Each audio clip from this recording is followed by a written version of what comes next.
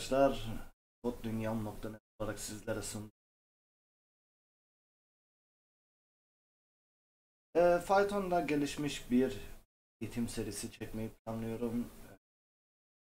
Daha artık daha çok Python'la biraz daha gelişmiş şeyler göreceksiniz.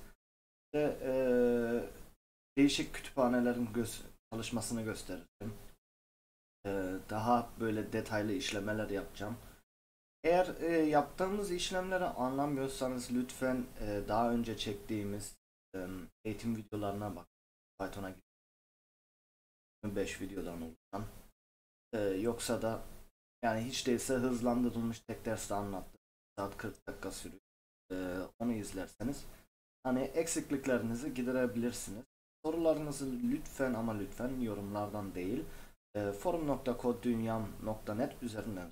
Çünkü aynı sorular tekrar tekrar geliyor ve e, bu sefer ben yoruluyorum. Çünkü hani cevap vermeme de yapmak istemiyorum. Kendimi de tutamıyorum zaten. E, birisi soru sorduğu zaman hemen böyle cevap veresim geliyor. E, durum böyle olunca tabii yetişemiyorum. Niye? E, Ahmet de aynı soruyor, soruyor. Cafer de aynı soruyor. E, şey bu arada Ahmet ve Cafer'e takıntım yok. Ee, bazı birisi sorduydu niye hep Cafer? Neden dolayı? Benim adım Cafer diyen bir tane çocuk vardı. Oradan Cafer ismi hep aklıma geliyor. Ee, yoksa arkadaşları da tanımıyorum. Ee, forumdan bu soruları sorabilirsiniz. Mesela burada en son soru ve cevaplar e, zaten karşımıza çıkıyor. İşte sorulan sorulara da bakabilirsiniz. İşte zaten cevaplandıysa karşımıza. Demem o ki buradan daha kolay bulabilirsiniz. Ee, sorulan soruları da tabi buradan aratabilirsiniz. Ve eğer baktığınız burada bir soru varsa eğer e, bu sorulara siz kendiniz de cevap verebilirsiniz. Yani e, illa hani ben cevaplayacağım diye bir şey yok. Bu platform hepimizin platformu. E, ana sayfamızda e, birkaç tane projeyi yayınlamayı düşünüyorum oyun olsun. Python'dan oyun yapma olsun. Testlerimiz falan da var. Onları da geliştireceğiz. Eğer ilgilenirseniz hatta sizler de burada proje paylaşabilirsiniz. Ee, bana e-mail yoluyla yazarsanız işte e, yazılarınızı falan yayınlayabiliriz. Çok ilgilenmek isteyen arkadaşlar varsa e, editörlüğü falan da verebiliriz. Evet. O zaman artık bunları da e, içimden attığıma göre Gelişmiş Python dersleri diyorum ve artık başlayalım. Evet. Dosya okuma ve kayıt işlemlerimize başlayalım. Önce bilmemiz gereken birkaç tane terim. E, İngilizcesi, İngilizce ile arası olmayanlar için hemen birkaç tane e, terimi çevirelim. Open açmak demek. E, read okumak demek. Write yazmak demek. Ve append eklemek demek yazalım. Şimdi bunlar bizim için niye önemli? Biz bir dosyaya yani genel olarak bir Python projesine iki şekilde işlem yapabiliriz. Birincisi şuraya bilgileri de yazalım. Birinci yöntemimiz SQL Server kullanmak. Burada e, ekstradan bir SQL Server kurmak, bir database oluşturmak bazı projeler için çok gereksiz oluyor. Çünkü Hani kaydedeceğimiz şeyler zaten kısıtlıdır. Bir SQL Server oluşturmak ve oradan veri çekmeyi de göstereceğim ilerleyen videolarda.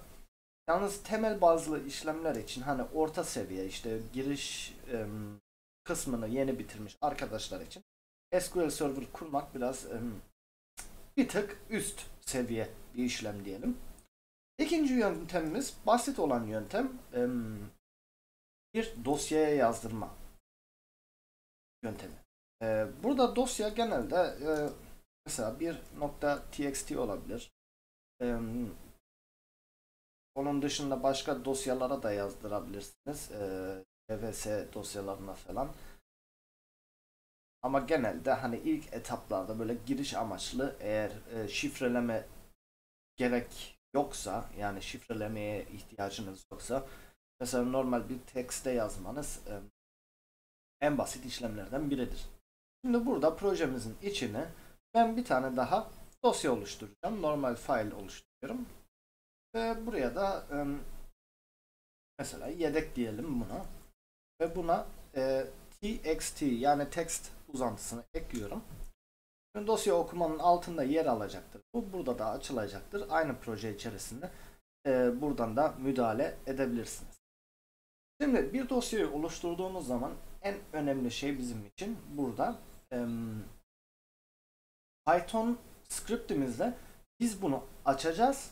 Yani açtığımız zaman bunun okumasını sağlıyoruz. Ve bir önemli olay daha her açtığınız dosyayı kesine kesin kapatın. Niye? Ee, program şişme yapmasın. Yani atıyorum bin kere açtınız bu sefer. Hani siz belki görmüyorsunuz arayüzü. Ama arka planda oluşan olaylar var sonuçta. Hani tutup da script'te çalıştırdınız, açtınız, kapatmadınız ama dosyayı.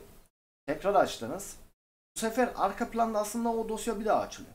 Ya bu işlemi bin kere yaptığınızı düşünün. Bu sefer ne olacak? Arka planda bin tane text dosyası açılmış olacak. Bunu istemiyoruz. Ne yapacağız? Açtık, işlemimizi bitirdik, kapattık.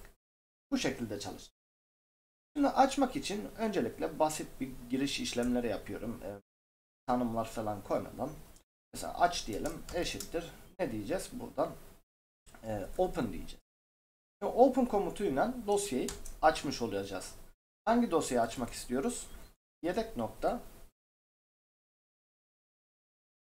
bazen istemiyor insan bilgi vermesin. Yedek nokta txt Evet, e, bunu nasıl açmak istediğiniz de önemli. Şimdi bunu açmak için çeşitlerimiz var. E, tam da desem görüyor mu? E, yine open e, açmak için kullandık. E, açma yöntemlerimizde bu üçü read, write, append. Okuma için açabiliriz. Okuma olarak e, açtığımız zaman içeriye ekleme yapamıyoruz. İçeriği sadece okuyoruz. Write yaptığımız zaman içeriye sıfırdan yazdırmış oluyoruz. Yani eski içeriği silecektir. Append yaptığımız zaman bu sefer içeriğin içine ekleme çıkarma yapabiliyoruz. Burada önemli olan e, mesela eğer eski içeriğin silinmesini istemiyorsanız sakın write seçmeyin. Yoksa bakarsınız içerik kaybolmuştur. Ondan sonra kafalar karışır. İlk yapacağımız işlem ne?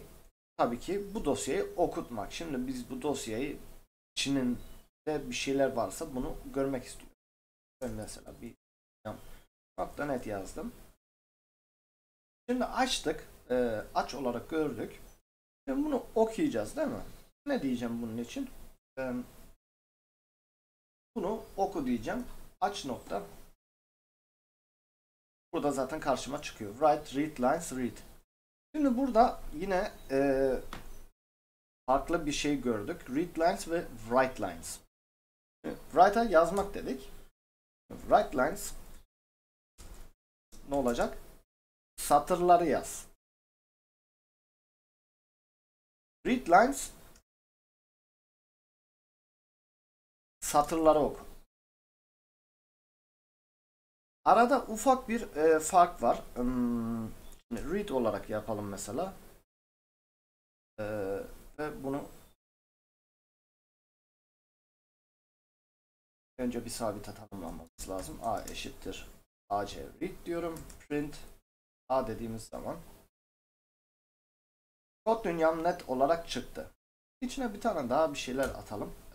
Olsun. Python dersleri. Altına attı. Şimdi buraya bir de read lines olarak aç. Bu sefer ne yaptı? Tek bir satır olarak gördü. Bizim için niye önemli? Atıyorum bunu ee, bir içeriğindeki e, elemanları burada gördüğünüz elemanları e, bir listeye atmak istiyorsunuz. Şimdi buradakini listeye at, çevirmeniz daha basit olacaktır. E, bu yöntemi kullanırsınız. Yoksa işte yok buradaki e, yöntem hani alt alta yazılsın. buradaki şekilde ben bunu daha e, seri kullanırım derseniz bunu kullanırsınız. Mesela ben genelde projelerimde readlines yapıyorum. Ondan sonra ilerleyen derslerde göstereceğim yine. İşte diyorum ki atıyorum virgülü gördüğün yerde böl gibisinden böyle komutlarımız var. Bunları da göstereceğim. E, bölüyorum. Ondan sonra bunu bir eleman olarak çekmiş oluyorum. Bunu da ayrı bir eleman olarak çekmiş oluyorum.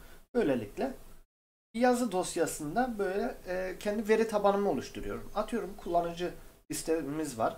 Bu kullanıcı listesi burada dolmuş. İşte 20 tane kullanıcımız var bir program için. Bunları böyle alt alta yazıyoruz ve buradan artık bunları çekebiliyoruz.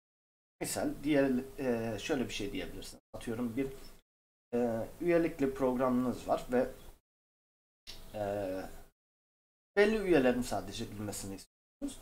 Bir üye listesi oluşturursunuz ve e, içindeki üyeleri okutursunuz.